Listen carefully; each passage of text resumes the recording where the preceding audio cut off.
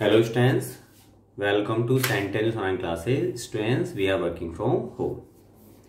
Student अब आज हमें एनसीईआरटी की एक्सरसाइज डिस्कस करनी है। बेटा एक्सरसाइज का जो क्वेश्चन 3.1 है उसमें हमें ये बताना है कि कौन सा ऑब्जेक्ट पॉइंट ऑब्जेक्ट बेटा हमें यहाँ पर फोर पार्ट दे रखे हैं। तो यहाँ पे बेटा पॉइंट ऑब्जेक्ट का मतलब होगा जहाँ ऑब्जेक्ट अपने साइज़ के कंपैरिजन में बहुत बड़ी डिस्टेंस ट्रेवल करेगा। वहाँ तो पॉइंट ऑब्जेक्ट है अदरवाइज़ वो पॉइंट ऑब्जेक्ट नहीं होगा। तो बेटा ये इजीली आप जज कर पाओगे। तो ये क्वेश्चन आप खुद करेंगे, ठीक है?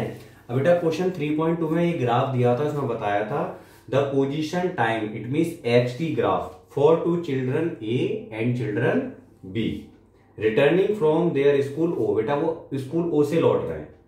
To their homes P and Q A का जो होम है बेटा पी है और बी का होम क्यू है। आप देख रहे हो यहाँ पर ए का होम पास है और बी का होम बेटा दूर है स्कूल से ओ स्कूल था ठीक है?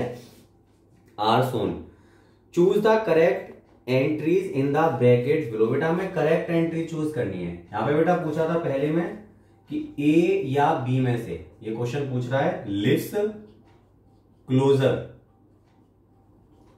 to the school than B oblique A तो बेटा, कौन ज़्यादा पास रहता है? स्कूल के।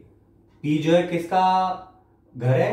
ए का। तो, तो ओ से देख रहे हो पी पास में ओ से क्यू दूर है मीन ए क्लोजर रहता तो यहाँ पे बेटा हम टिक किस पे लगाएँगे? A A lives closer to school than B बेटा ए का स्कूल बी के कंपेरिजन में ज़्यादा पास है ओके बी पूछा था बेटा जस्ट हमें ग्राफ को रिलेट करके बेटा देखना है A oblique B starts from the school from the school earlier than B oblique A बेटा स्कूल से कौन जल्दी चलना स्टार्ट करता है? देखो। जो ए है बेटा ए कब चलना स्टार्ट कर रहा है? बिल्कुल टाइम ज़ीरो पर। बी बेटा, यहाँ से चलना स्टार्ट कर रहा है। तो आप देख रहे हो, कौन जल्दी चलना स्टार्ट कर रहा है? ए बी या इस टाइम से चलना स्टार्ट करता है स्कूल से। ए टाइम ज़ीरो पर चलना स्टार्ट कर रहा है। तो कौन जल्दी स्टार्ट कर रहा है? चलना बेटा A A start from the school earlier than B okay students अब सी पर आते हैं। सी में था A oblique B walks faster than B और ए बेटा स्लोप से देख लोगे आप। स्लोप किसका हाई आ रहा है बेटा? बी का स्लोप हाई है। देखो ए का स्लोप कम है और बी का स्लोप हाई आ रहा है। तो यहाँ पर हम कह सकते हैं B work faster than A तो बेटा बी तेज चलता है okay D part A and B reach home at the same time of different time A and B reach home at बेटा कैसे पहुँचते देखो? ए का घर पहुँचने का टाइम देखो बी का देखो। बेटा देखो ए लगभग इस टाइम पे घर पहुँच रहा है। और बेटा बी टाइम देखेंगे ना घर पहुँचने का। बेटा बी के लिए देखो ये रहा बी अब पहुँच रहा है। तो यहाँ पे बता रहा था कि घर बेटा सेम टाइम पे पहुँचते अलग अलग टाइम पे पहुँचते तो बेटा अलग अलग टाइमिंग होंगे। एट डिफरेंट टाइम ए पूछा था बेटा A B overtakes B oblique A on road once oblique twice थोड़ा देखो यहाँ पे।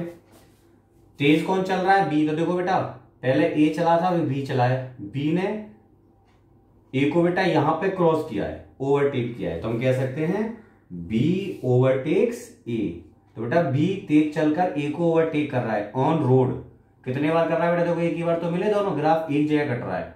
तो वंस तो बेटा, इस तरह से जस्ट हमें ग्राफ को रीड करना था। Okay students now pause the video and note it down अब बेटा क्वेश्चन 3.3 देखते हैं। इसमें बोला बेटा a women start from her home at 9 AM तो बेटा स्टार्ट करती है वुमेन घर से चलना at 9 AM okay walks with a speed of 5 km per hour on a straight road up to her office 2.5 km बेटा टाइम टू रीच ऑफ़िस तो बेटा होम टू ऑफ़िस होम से ऑफ़िस तक जाने का बेटा उसे जो टाइम लगेगा टाइम होता है डिस्टेंस अपॉन स्पीड बेटा कितनी डिस्टेंस है? 2.5 किलोमीटर दूर बेटा ऑफ़िस है उसका। और बेटा वो चलिए 5 किलोमीटर पर आवर के हिसाब से। तो बेटा यहाँ पर अगर हम देखें तो ये वन अपॉन टू आर का टाइम लगेगा इट मीन थर्टी मिनट में बेटा ये ऑफ़िस पहुँच जाएगी। तो अब हम कह सकते हैं टाइम टू रीच ऑफ़िस तो बेटा ऑफ़िस पहुँचने का टाइम क्या हो गया? एट नाइन थर्टी तो बेटा इस तरह से वो नाइन थर्टी ए एम पर ऑफ़िस पहुँच जाएगी। अब आगे बोला है and stage at office up to five P M stage at office from nine thirty A M को नाइन थर्टी पर पहुँच गई office up to five P M बेटा फाइव पी एम तक वो ऑफ़िस में रुकी। इसके बाद बोला है and return home by an auto with speed of twenty five kilometre per hour time of returning time of returning बेटा रिटर्न में कितना टाइम लगेगा?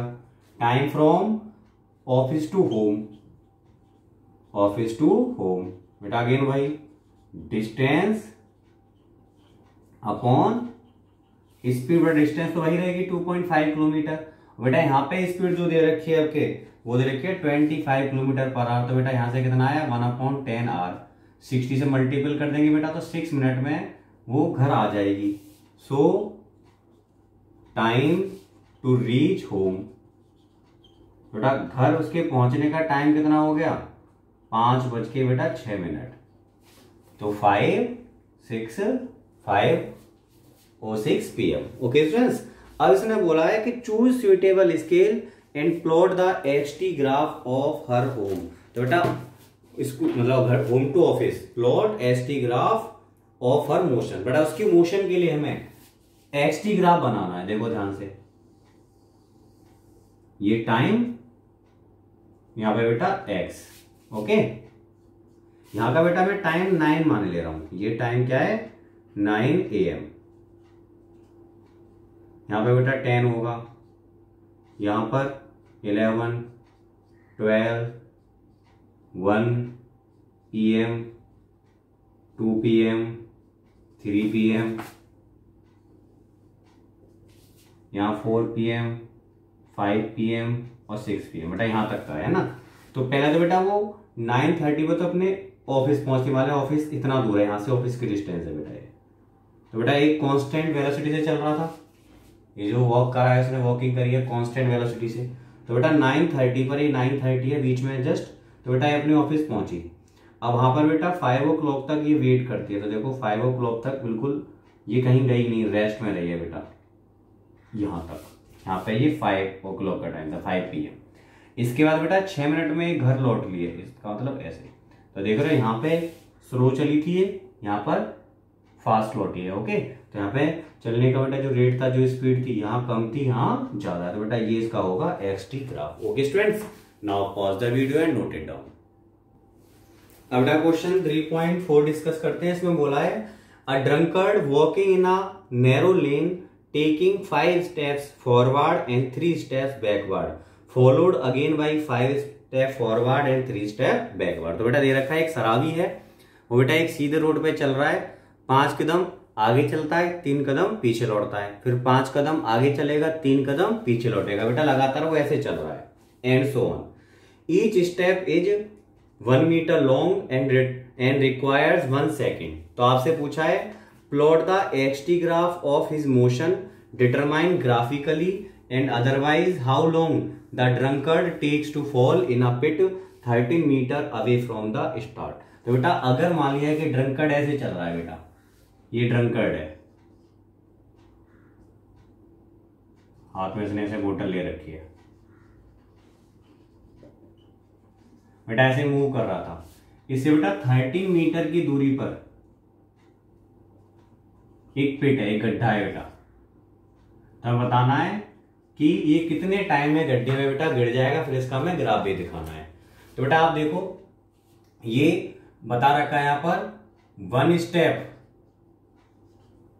इक्वल टू बेटा वन मीटर का एक स्टेप है इसका, और time for one step time for one step तो बेटा वो दे रखा है वन सेकेंड तो अगर मैं देखू बेटा कि पाँच स्टेप आगे और तीन स्टेप पीछे तो बेटा एट स्टेप में ये कितना चला केवल? टू मीटर चला और टाइम कितना लिया? एट सेकेंड का। तो हम कहते हैं इन एट स्टेप्स तो बेटा एट स्टेप्स में कितना इसने डिस्प्लेसमेंट कवर किया? अगर मैं डिस्प्लेसमेंट की बात करूँ। बेटा एट स्टेप में डिस्प्लेसमेंट क्या होगा? पाँच कदम आगे, तीन कदम पीछे। तो बेटा, केवल दो मीटर चला। और बेटा टाइम तो आपको है हर एक स्टेप पाँच सेकंड उसका वन सेकंड का तो फाइव सेकंड तो जाने में। तीन सेकंड आने में तो बेटा एट सेकंड में ये दो मीटर चला। इन नेक्स्ट सिक्स स्टेप्स और अगले सिक्स स्टेप के नेक्स्ट एट स्टेप ले लो या सिक्सटीन स्टेप कह लो, इन सिक्सटीन स्टेप्स तो बेटा ऐसे ही देखते जाओ। सिक्सटीन स्टेप्स में बेटा इसका डिस्प्लेसमेंट कितना हो जाएगा? वो हो जाएगा बेटा फोर मीटर। और टाइम कितना लेगा बेटा? यहाँ पर सिक्सटीन सेकेंड अभी बेटा फोर और फाइव नाइन इसका तरह भी गड्ढे में नहीं गिरने वाला ये। अब आते हैं इन ट्वेंटी फोर स्टेप्स बेटा, ट्वेंटी फोर स्टेप्स में इसका जो डिस्प्लेसमेंट होगा, वो कितना होगा? सिक्स मीटर अब बेटा टाइम कितना? लेगा ये सिक्सटीन ट्वेंटी फोर सेकेंड देखो अभी सिक्स और फाइव इलेवन बेटा अभी भी गड्ढे में नहीं गिरने वाला ये। अब बात करते हैं इन थर्टी टू स्टेप्स बेटा थर्टी टू स्टेप्स में कितना इसका डिस्प्लेसमेंट हुआ? वो हो गया बेटा, यहाँ से देखा जाए तो इसमें एट मीटर और बेटा टाइम पूरा थर्टी टू सेकेंड ही होगा तो वन स्टेप वन सेकेंड के बराबर है टाइम में। अब बेटा देखो ध्यान से एट और फाइव थर्टीन इसका मतलब अगले पाँच स्टेप गिरते जाते ही बेटा देखो यहाँ पे एट मीटर पहुँच गया। अगले फाइव मीटर बेटा ये पिट में गिर जाएगा, वापस तीन स्टेप लौटने का बेटा, ऐसे मौका ही नहीं मिलने वाला, गड्ढे में चला जाएगा ये, है ना? तो हम कह सकते हैं in next five steps. Drunkard will fall in the pit. So, time to fall in the pit. तो बेटा सिर्फ़ पिट में गिरने में कितना टाइम लगा? 32 सेकेंड प्लस नेक्स्ट 5 सेकेंड। और तो बेटा कितना? 37 सेकेंड। तो बेटा इस तरह से 37 सेकेंड्स में वो पिट में गिर जाएगा। Okay students now pause the video and note it down अब बेटा ड्रनकर्ड के एक्स टी ग्राफ का मैं थोड़ा सा आपको ओवरव्यू दे रहा हूँ, बाकी ग्राफ को आप कंप्लीट करोगे। बेटा, इसमें क्या दिया था? शुरुआत में बेटा फाइव सेकंड में ये फाइव मीटर चला होगा ड्रनकर्ड देखो ये रहा। फाइव मीटर चला फाइव सेकंड में था। ऐसे आएगा ग्राफ अगले बेटा three second it mean eight second में। बेटा तीन स्टेप वापस लौट जाएगा वापस कहाँ पे आ जाएगा बेटा? टू पे आ जाएगा, यहाँ गया। उसके बाद बेटा नेक्स्ट फाइव सेकेंड एट और फाइव थर्टीन लगभग यहाँ होगा। थर्टीन बेटा अगेन ये फाइव स्टेप चलेगा। बेटा, यहाँ पे फाइव स्टेप का मतलब है टू और फाइव सेवन बेटा सेवन में पहुँच जाएगा थर्टीन पर ये। कहा पहुँच जाएगा? सेवन पर। यहाँ ग्राफ आ जाएगा लगभग। इस तरह से। उसके बाद बेटा नेक्स्ट थ्री सेकेंड थर्टीन और फाइव बेटा सिक्सटीन होगा। इस पर तीन मीटर है पीछे आगे सेवन में थ्री कम करूँगा बेटा, कितना आएगा? फोर तो बेटा ये फोर पे पहुंचेगा, यहाँ आ जाएगा।